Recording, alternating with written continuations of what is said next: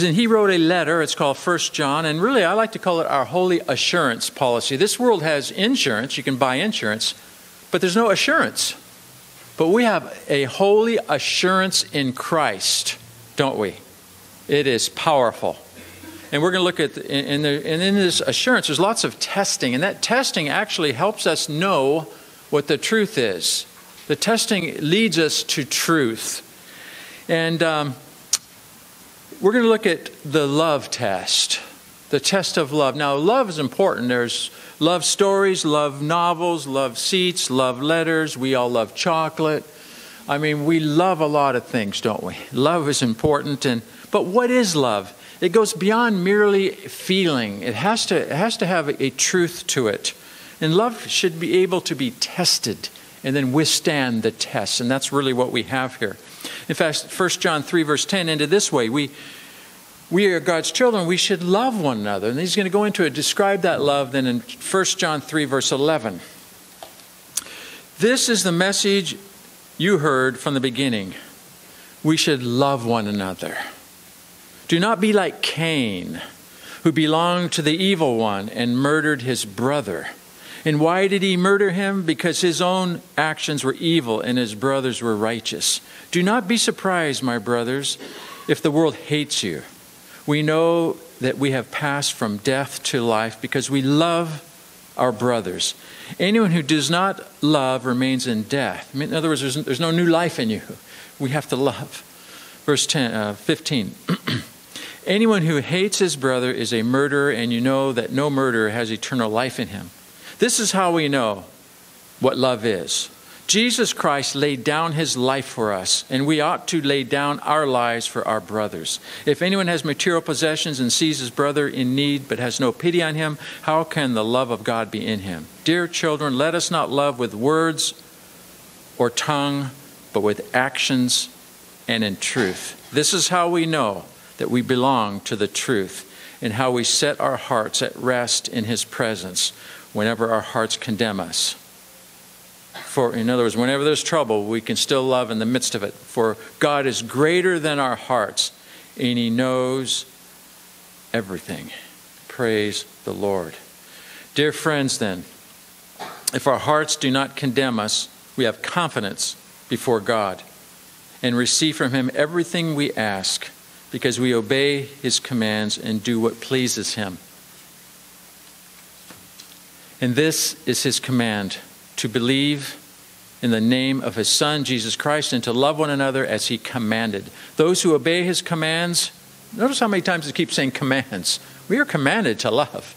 Anyone who obeys his command, those who obey his commands, live in him and he in them. This is how we know that he lives in us. We know it by the Spirit he gave us. So our love will be challenged and tested constantly. Isn't that true in our lives, everywhere we go? Verse 11 says, This is the message you heard from the beginning that we should love one another. We shoulda, woulda, coulda. We, we're supposed to love one another. We should. It's expected of us because we're children of God. We have been loved by God, and we're supposed to reflect that same love to those around us. In fact, this is John's love theme in this letter. We, we will allow the test of love and we should allow it to test our lives. Gee, am I loving like I should? And it says in verse 12, don't be like Cain. I'm gonna, I want us to look at Genesis chapter 4. If you go to Genesis chapter 4, it's no accident that it comes after Genesis chapter 3. If you know what happened in chapter 3, obviously the very first thing that happened in chapter 4 reflects chapter 3 the G3 complex. And it, it starts here in Genesis 4, verse 1. Adam lay with his wife Eve, and she became pregnant and gave birth to Cain. She said, With the help of the Lord, I brought forth a man. Later, she gave birth to his brother Abel. Now, notice it's clear that it mentions that it's his brother. There's a unity there that should be there. We don't want to miss this. Direct descendants of Adam and Eve after the fall. now, Abel kept the flocks, and Cain worked the soil. In the course of time, Cain brought some of the fruits of the soil as an offering to the Lord, and, but Abel brought fat portions from the, some of the firstborn of the flock. Now, we're not really told necessarily why they were doing this, because before the law, but uh, uh, obviously it's to honor the Lord in some way. We're not told that we, until later in the Bible for various reasons. But we have a little insight here. The Lord looked with favor on Abel and his offering. They're together. And on Cain, though, his offering did not he did not look with favor. Now, this is not class warfare. This is not farmers versus shepherds. You can read all kinds of people that are upset about this. They, they don't allow the God's truth to penetrate. They have all kinds of different reasons why this. It, it's not a lesson in animal sacrifice. It's a lesson that God knows our hearts. He knew that, that Cain was given an offering that, that really he didn't care. But Abel did care. And it's the heart issue that he was after. It's a lesson that God knows our hearts. And he called it before it even happened. And Cain's reaction proves God right. Cain was very angry and his face was downcast. It says, very angry. In other words, he's not pretending and he wasn't hiding. His face was very angry and he was very downcast. And next, we have an absolutely amazing, amazing grace thing happen. The Lord visits Cain. See, the Lord had never left Cain, he's still with him. He's going to try and conjure him into doing what is right. The Lord was with Cain, and he knows his heart. Verse 6 then says this So the Lord said to Cain, Why are you angry? Why is your face downcast? If you just do what is right, will you not then be accepted? In other words, just do, do what you're supposed to do in your heart.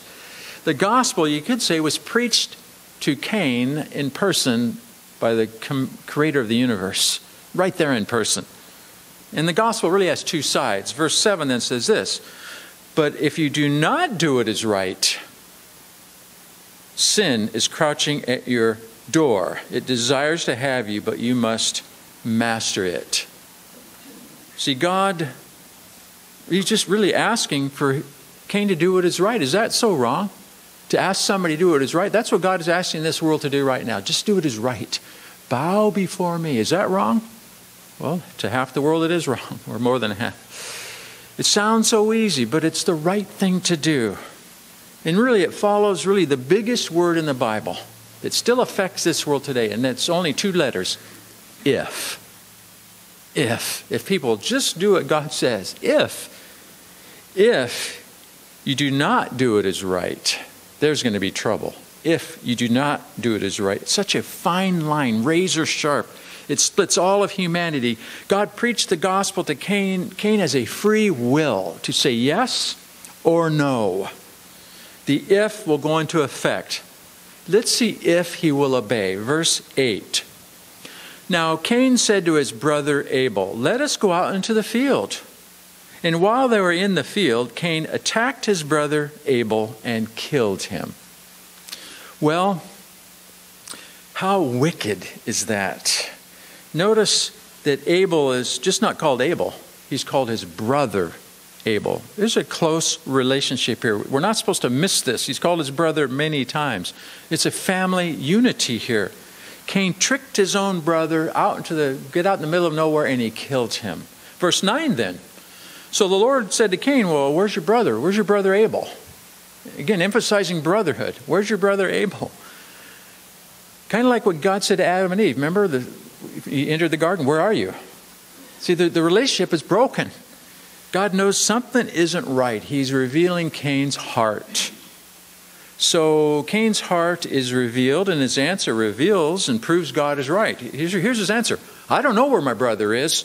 Am I my brother's keeper? So not only is he lying, but he's sassing, back talking God, right, to his face. This is how bad Cain is. So, verse 10 then, of course, the Lord knows all about this, but this is so we can see it. Verse 10 The Lord said, What have you done?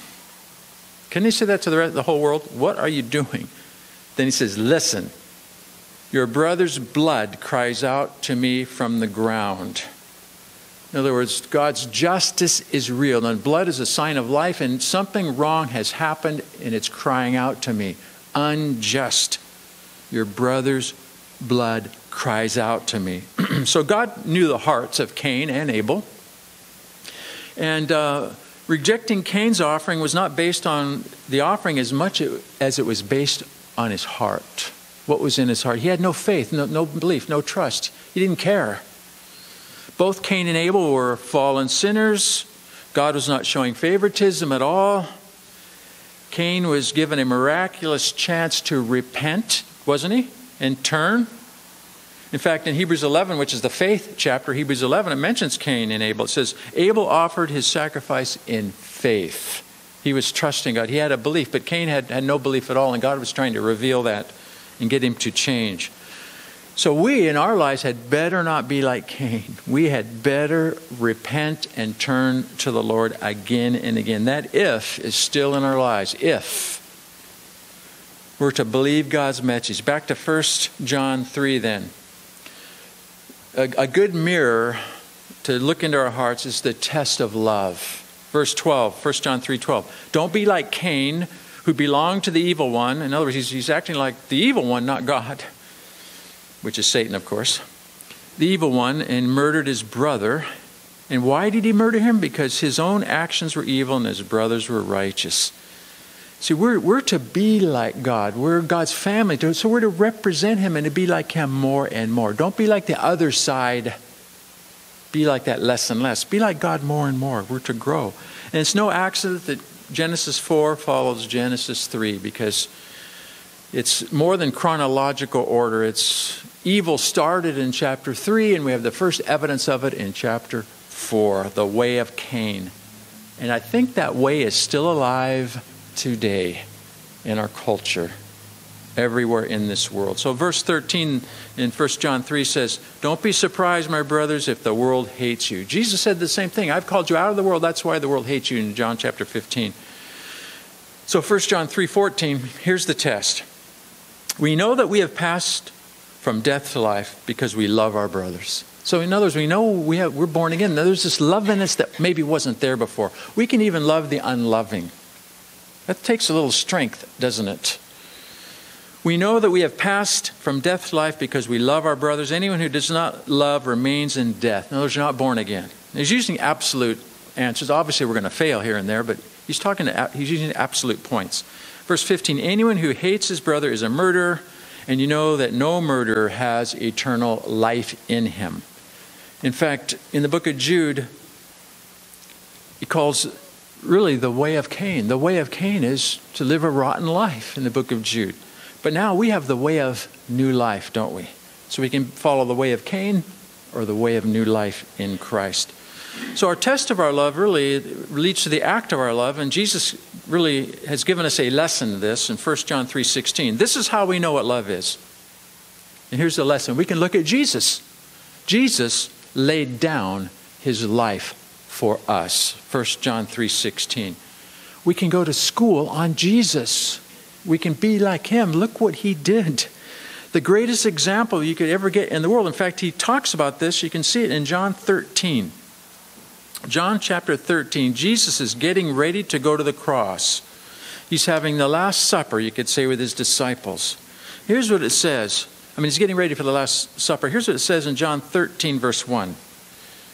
Just, it was just before the Passover feast, because Jesus will die on the cross at Passover, so it's just before it.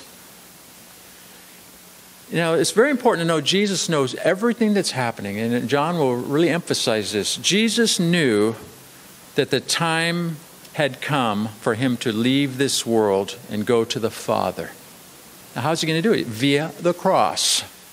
That's how he's going to get there. He knows it's the time. And having loved his own who are in the world, he now showed them the full extent of his love. He's going to give a demo of his love.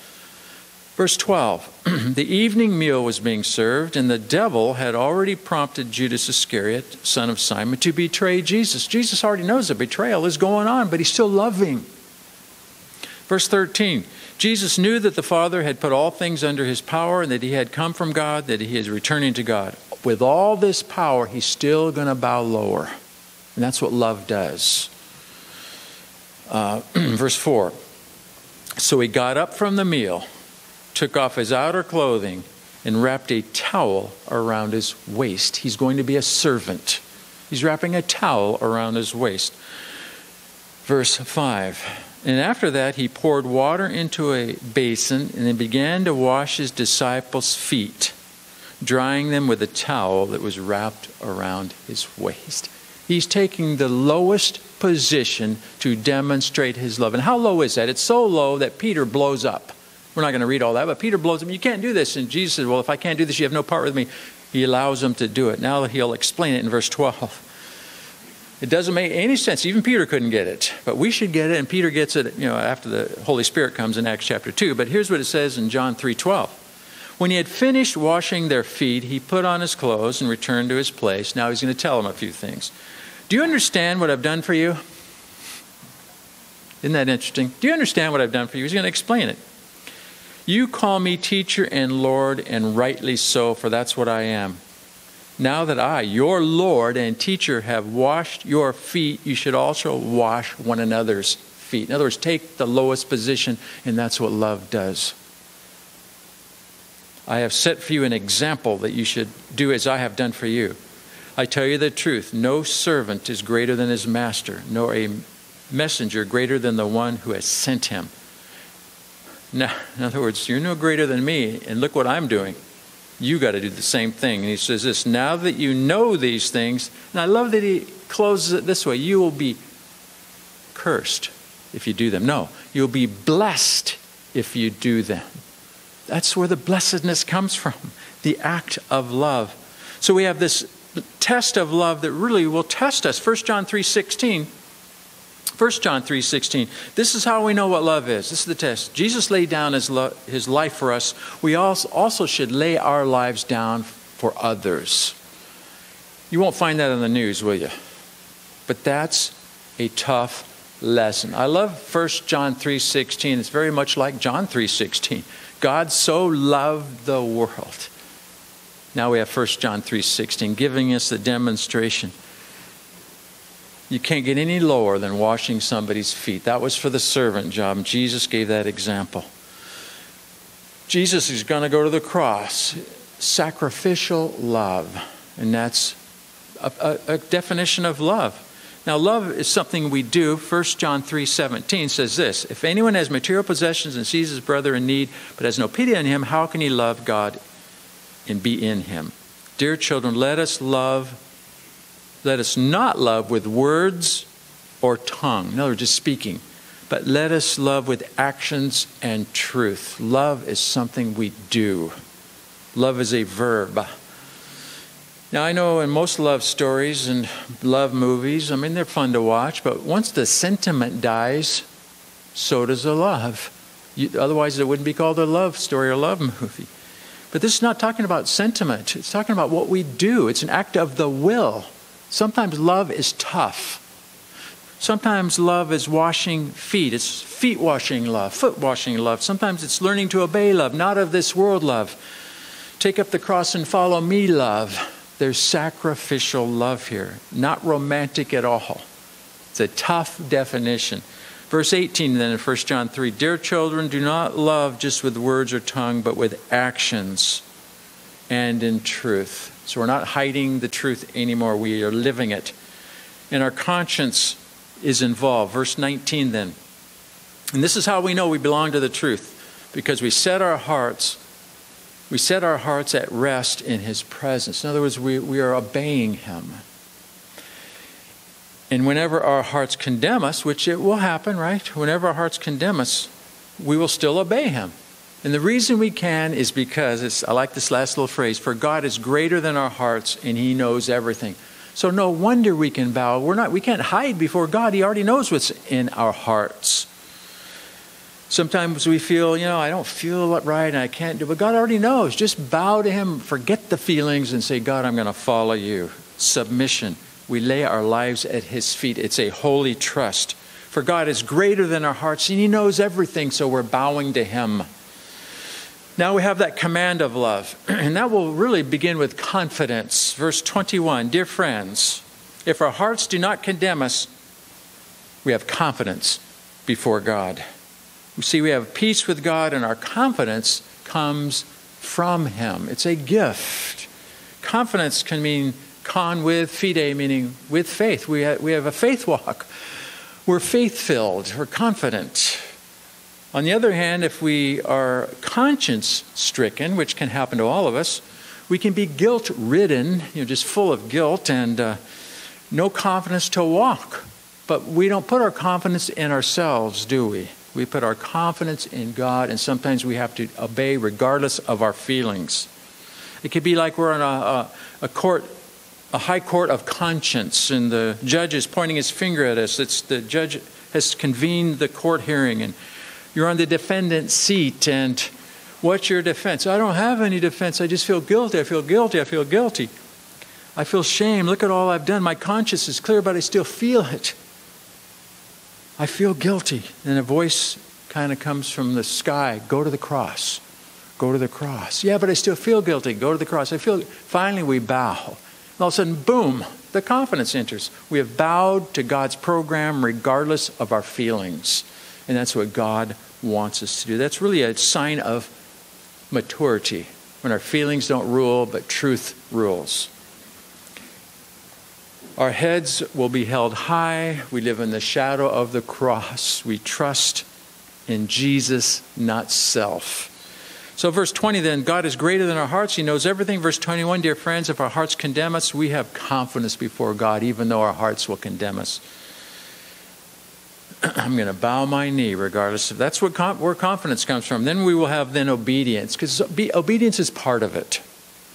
Obedience really comes from confidence and it leads to blessing. Verse 22 And we will receive from him anything we ask, of course, limited by his will, but God will begin to answer our prayers in ways we never have anticipated. We will welcome the limitations we have of God, but He's going to be answering our prayers because we obey His commands in verse 22 and do what pleases Him. And this is command, verse 23, to believe in the name of His Son Jesus Christ and to love one another as He has commanded us to love. Obedience is a form of love.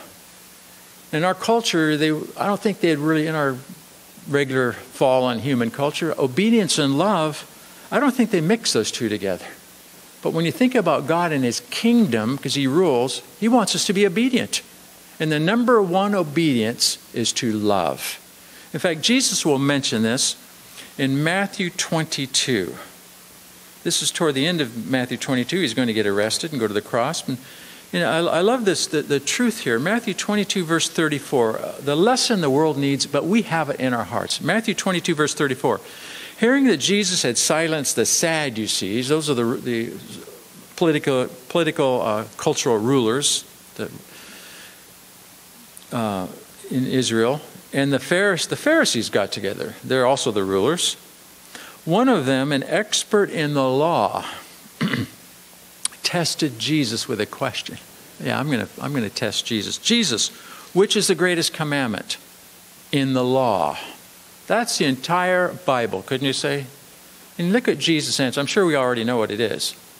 Jesus replied, Love the Lord, your God with all your heart and with all your soul and with all your mind. That's a quote from Deuteronomy chapter 6, the greatest commandment. Love the Lord. It's a command. There's no emotion, there's no feeling, it's a will thing. We do it because it's right. The emotion will come later. Emotions don't rule us, truth does. Love the Lord your God with all your heart, with all your soul, with all your mind. This is the first and greatest commandment. This is number one. Then he's going to add the second one, which is, you can understand why he would do this. And the second one is just like it. Jesus said, Love your neighbor as yourself. Then he says this all the law and the prophets, that means the entire Tanakh, the Hebrew Old Testament, all the law and the prophets hang on these two commandments loving God and loving one another. How important is this command to love if we think about it today in our world, even in our own hearts? How do you command a person to love? I command you to love. They would spit on you unless they're a believer. Then they'd probably, oops, yeah, and then they'll bow the knee. So it's a, it's a learning curve we're on. And what's the shape of the learning curve? The cross. We bow our knees to Him. And then what will happen, and this obedient love will lead to a fellowship that is, that is beyond belief. Fellowship. We have the ultimate supernatural confirmation in this. You've heard of super glue, right? This is supernatural glue. It's not of this world glue. It's the, we have the Holy Spirit helping us. That's what he'll say. Confidence, it's a, the gift of faith, the gift of love, the gift of obeying. Verse 24 says this in 1 John 3 Those who obey his commands live in him, and he in them. We, we have a relationship. We are in him. We're not in Adam, we are in him. We have a relationship. In is a preposition, we have a position. We've been positioned in him. It's a full blown miracle. We are in Him, He is in us. There's a relationship. Verse 24 then, those who obey His commands live in Him and He in them. And our position is in Christ, it's unbroken fellowship with Him. How can we be sure? Verse 24 ends this way This is how we know that He lives in us. We know it by the Holy Spirit that He has given us. Now, He's going to go on to explain the Holy Spirit more further. We'll get to that next week. But He's breaking that truth of the fact that we are born again of the Holy Spirit. We're living a whole different life now, not like the world. We have a holy assurance policy over us. Assurance through the power of the Holy Spirit. Through God, it's His gift. So, what needs renewal sometimes is a sense of obedience. That's why we bow the knee. Be a disciple. Lord, teach me how to obey. That's the definition of being a disciple. Teach me how to obey. God will put His love template over our lives and show us where we need to change our ways. Lord, I have failed here. Have mercy on me. any will, and we will learn. No longer will we march through this life with a hard heart. We'll be able, we won't be like Cain. We'll be able to be instructed by God. Our hearts will be opened. The test of love will have done its work. We will worship and obey. Most people don't understand that worship really means obedience. We are obeying whom we worship. So, who are you worshiping? Who or what? If we're worshiping God, we're going to obey Him. But if we're worshiping the world, we're going to obey the world. But we're not worshiping the world, are we? We are worshiping God. That means He's first. We put Him first and we learn to obey. Let's bow our heads in prayer. Father, we thank you for this power you have given us, this power of new life let that power of new life and obedience spread in our lives and let it spread across this nation. We need that, Lord. Our nation needs that healing. Heal us all, Lord. Let us walk in your obedient faith and love. In the name of Jesus, amen.